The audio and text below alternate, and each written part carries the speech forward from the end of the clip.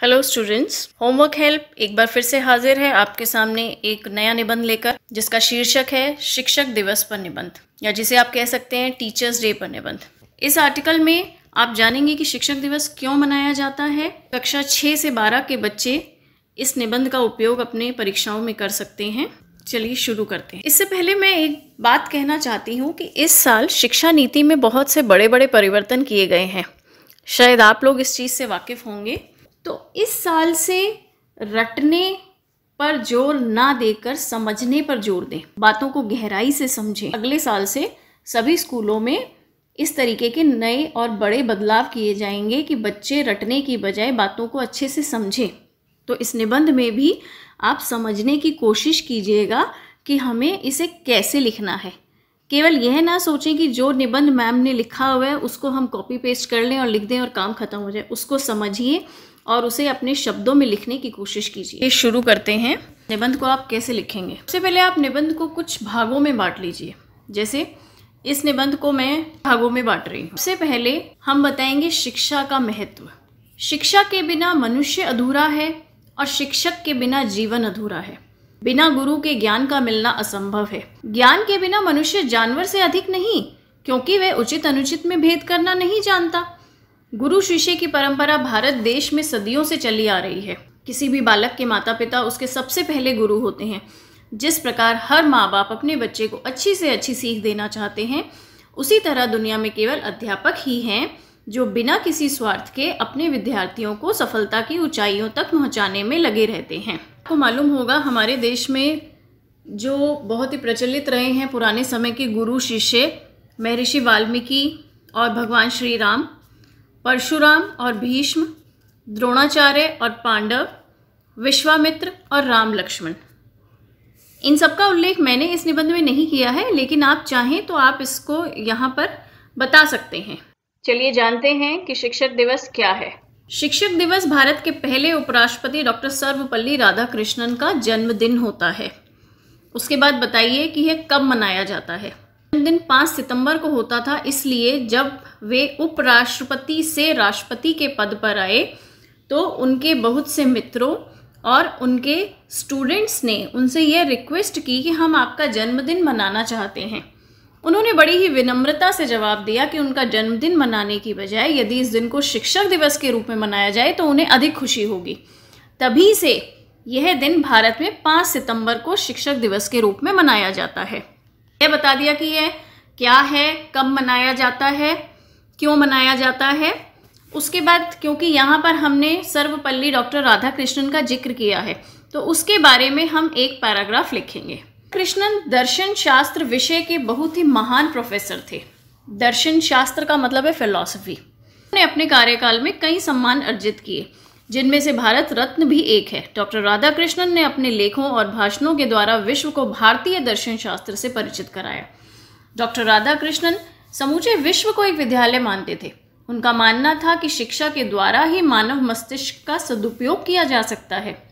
दर्शन जैसे गंभीर विषय को भी वे अपनी शैली से सरल और रोचक बना दिया करते थे। इसलिए उन्हें एक महान शिक्षक के रूप में याद किया जाता है। इसके बारे में आप ये बता सकते हैं कि इसे कैसे मनाया जाता है। शायद आप सभी जानते होंगे कि स्कूल और कॉलेजेस में शिक्षक दिवस या टीचर्स डे मनाने का प्रचलन है। बारहवीं कक्षा के छात्र और छात्राएँ अपने शिक्षकों की तरह ही तैयार होकर आते हैं। लड़कियाँ साड़ी इत्यादि पहनकर आती हैं और लड़के पैंट, शर्ट अच्छे से या कोट वगैरह में तैयार होकर आते हैं। इस दिन विद्यालयों में कोई पढ़ाई नहीं होती। अध्यापक और शिष्य सभी इस समारोह को मिलकर मनाते हैं। बच्चे अपने अध्यापकों के प्रति आभार व्यक्त करने के लिए नाटक, भाषण, संवाद, नृत्य या गाने के माध्यम से शिक्षकों को धन्यवाद करते हैं। शिक्षकों के बारे में बहुत सी कोटेशंस बहुत सी अच्छी बातें आपको मिल जाएँगी। आपको एक अच्छी कोटेशन ज़रूर डालिए अपने निबंध में। जैसे मैंने यहाँ लिखा है आपके सामने, गुरु गोविंद दो खड़े काके लागू पाए, बलिहारी गुरु आपने गोविंद दियो मिलाए। यह संस्कृत का एक श्लोक है। इसका मतलब समझ लीजिए। ये कह रहे हैं कि गुरु और गोविंद गोविंद का मतलब भगवान। मान लीजिए आप एक कमरे में खड़े हैं जिसके दो दरवाजे हैं। एक दरवाजे से आपके अध्यापक अंदर आ रहे हैं और दूसरे दरवाजे से भगवान अंदर आ रहे हैं। तो आप एक दुविधा में पड़ गए कि आपको किसके पाए लागना है पहले? आपको किसके चरण स्पर्श करने हैं पहले? तो यहाँ पर गुरु को भगवान से भी ऊपर का दर्जा दिया गया है। इस दोहे में कहा जा रहा है बलिहारी गुरु आपने गो, गोविंद दियो मिलाए कि पहले हमें गुरु के चरण स्पर्श करने होंगे क्योंकि गुरु ने ही हमें गोविंद से मिलने का रास्ता दिखाया है। इसके बाद एक पैराग्राफ आप डालेंगे कि आज के शिक्षक और शिष्य और कुछ पुराने टाइम के शिष्य और शिक्षक में क्या अंतर आया है और आपके हिसाब से वह अच्छा है या बुरा है। पहले के समय में शिक्षक को भगवान से भी ऊपर का दर्जा दिया जाता था। लेकिन वर्तमान युग में शिक्षक और शिष्य के रिश्ते में कुछ परिवर्तन आ गए हैं। कुछ अच्छे और कुछ बुरे। ऐसा नहीं है कि जिनसे हम शिक्षा प्राप्त करते हैं, केवल वे ही हमारे गुरु हैं। जीवन में जिससे भी कुछ सीखने को मिले, वे सभी हमारे शिक्षक हैं।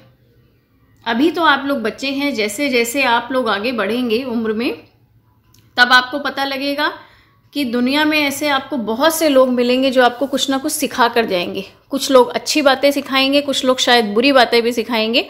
ये आप पर निर्भर करता है कि आप उन बातों में से कितने को एब्जॉर्ब करते हैं अच्छे तरीके से।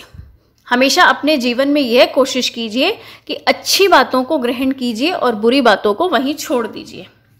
लिखित फॉर्म आपको हमेशा की तरह एस पर मिल जाएगा। इस ऐसे के नीचे आपको एक शब्द अर्थ की टेबल भी मिलेगी।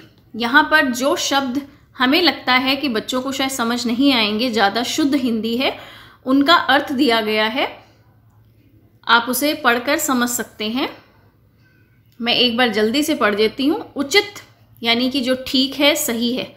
अनुचित। उचित का विलोम शब्द है अनुचित, गलत या बुरा। आतुर। आप कुछ जानने को आतुर हैं, कुछ जानने के लिए बेचैन हैं। स्वार्थ। सिर्फ़ अपने बारे में सोचना अपना मतलब निकालना। जैसे हम जब कोई व्यक्ति केवल अपने बारे में सो, सोचता है तब हम कहते हैं कि वह बहुत ही स्वार्थी इंसान है। कृतज्ञता। जब कोई व्यक्ति हमारी मदद करता है तो हम उसे धन्यवाद करते हैं मन से शुक्रिया करते हैं उसे कहते हैं कृतज्ञता प्रकट करना। उपराष्ट्रपति जैसे आपके स्कूल में प्रिंसिपल मैम या प्रिंसिपल सर के नीचे वाइस प्रिंसिपल होते हैं उनसे छोटे प्रिंसिपल से अहदे में छोटे, लेकिन टीचर्स से बड़े।